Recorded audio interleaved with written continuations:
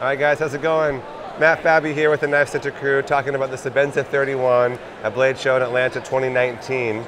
This is the new model that we've debuted, and it's uh, an updating of our iconic flagship model, the Sebenza. Uh, we've got some new features here to go over, but all in all, it's a very, very minimal reworking of this knife.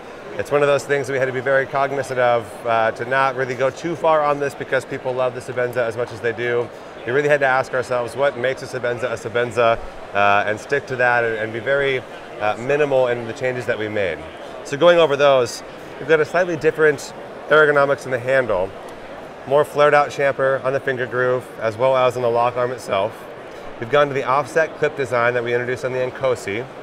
And we've also gone to the ceramic ball interface that was first proven on the Umnumzaan, Sebenza 25, Nkosi, and now the Sebenza 31.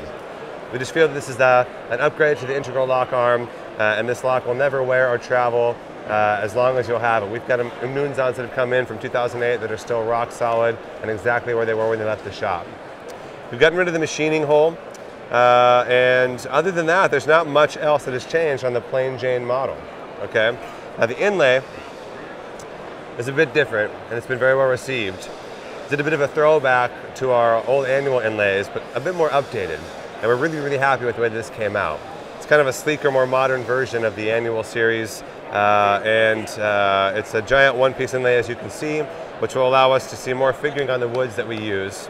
Currently, we're still offering box elder burl, Macassar ebony, or the bog oak option. We've gone to three different Damascus patterns uh, uh that are all going to be Chad Nichols Damascus now.